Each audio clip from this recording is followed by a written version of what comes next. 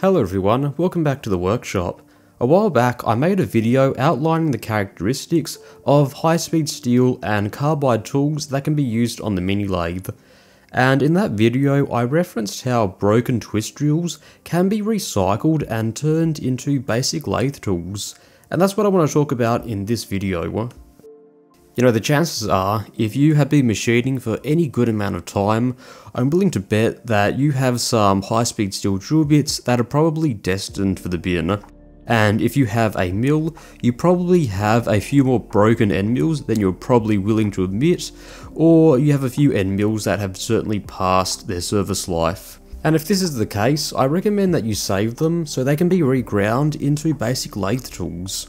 High-speed steel is such a simple material to shape if you have a bench grinder, and they can be ground into custom shapes for projects that require unconventional cutters.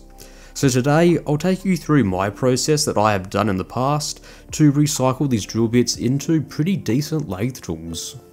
First of all, a few things I should point out though. Firstly, I'm not recommending these as a replacement to the square high-speed steel blanks that you can buy. As I'll point out later, the blanks will be made from a known and probably appropriate grade of high-speed steel, and the square blanks will be much more rigid than the circular twist drills.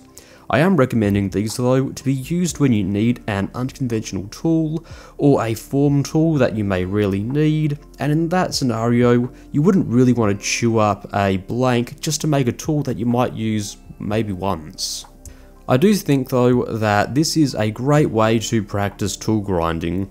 Broken twist drills or unusable second hand drills will be much more affordable to test grinding with when you are starting out and they will certainly be a lot easier to come by. Secondly, whilst twist drills will undoubtedly be the most common source of high-speed steel, end mills are a really great source of high-speed steel. Some will have a large amount of material in the shank compared to a typical jobber drill that you would get from the local hardware store. Finally, high-speed steel is high-speed steel, but not all high-speed steel is created equal. In the same way that high carbon steel is just a term that encompasses all steels with a carbon content between 0.3 to 1.7%, 1095 is a specific type of high carbon steel. And high speed steel is kind of the same. There are many different grades for different applications and different prices, it's probably one of the reasons why the cheapo drill bits that you can buy will conk out drilling through steel, when the more expensive name brand ones may chew through steel relatively easily. I'm willing to bet that the high quality drill bit is made from a higher end grade of high speed steel, though they don't normally list it on the packaging. A really good all-purpose high-speed steel that I use in my lathe tools is M2, which is really decent, though for cheaper twist drills, they generally use the more affordable M50 or M52 grade, and whilst they can drill non-ferrous metals, they do struggle when cutting steel. It's for this reason that when I recycle lower quality drills, I do tend to stick to aluminium and brass cutting with these tools. The twist drills that I will be recycling today are just freebies that I got with the cordless drill, and they are pretty rubbish as twist drills. Initially I held the twist drills in a boring bar holder, but they are much more rigid if they're held in their own dedicated holders. The holders are just a 12mm piece of mild steel bar stock, which are cut to the same length as the tool holder.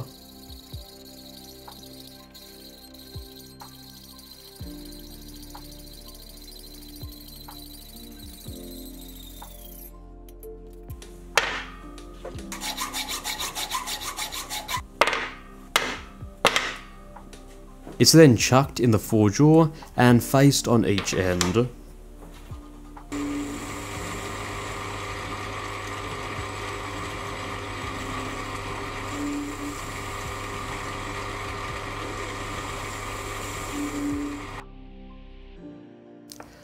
A hole is then drilled the same diameter as the shank of the drill,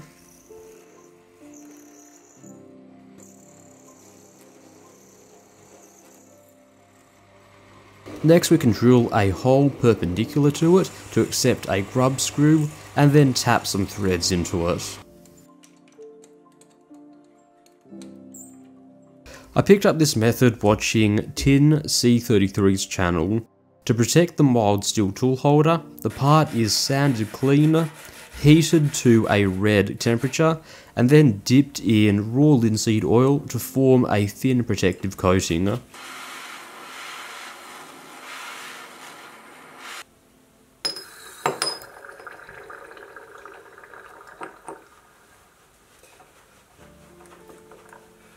This method is akin to seasoning a cast iron skillet as the high temperature polymerizes the oil forming a thin protective coating. Since we can't grind any tools into the flutes of the twist drill, I'll remove most of it using a grinder.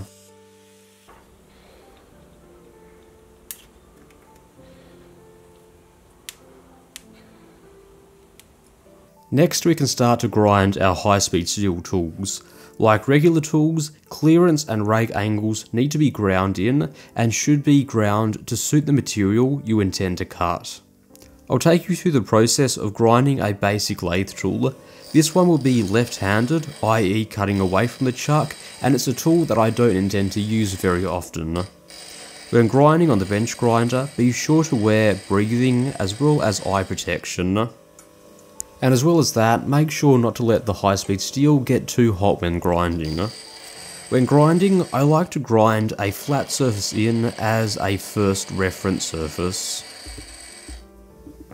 This reference surface will be the top face of the tool. Next I'll form in the front relief and front clearance angles.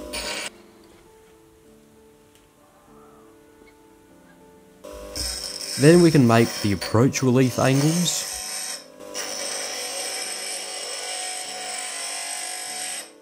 And finally, we can grind in the top relief. The angles will vary depending on your material. There are various charts in books and on websites online that can help you decide the appropriate geometry for your tool, and this one here that I have ground will be made for cutting plastic.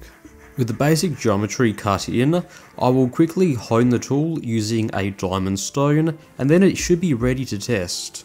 Whilst this tool is pretty basic and it does look a little bit peculiar because it is ground into a circular twist drill, I'm pretty happy with the results. It could use a little bit of tweaking, but this is pretty good.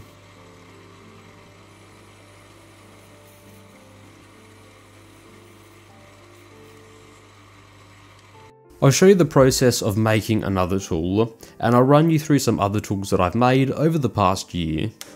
This one here will be an internal groove tool.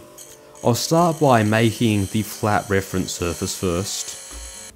I use some blue marking dye to mark out the material that I need to remove.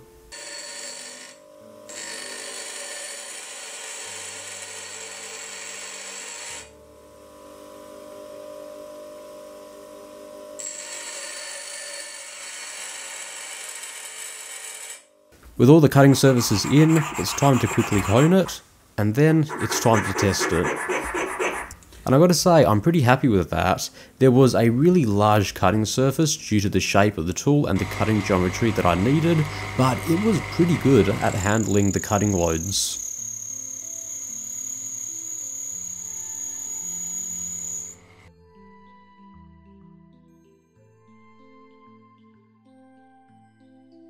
Finally, a few extra tools that I've made over the past year. Probably the simplest one here was the form tool for putting a small radius on brass parts. The radius isn't hugely accurate, though it really doesn't need to be.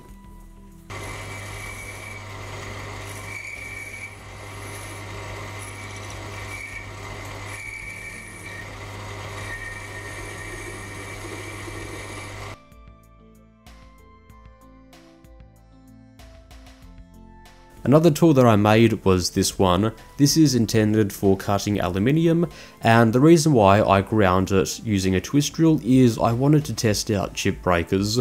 For anyone that doesn't know, aluminium is notoriously hard to get to break a chip, and I was really happy that after a lot of testing, I was able to finally break a chip using aluminium.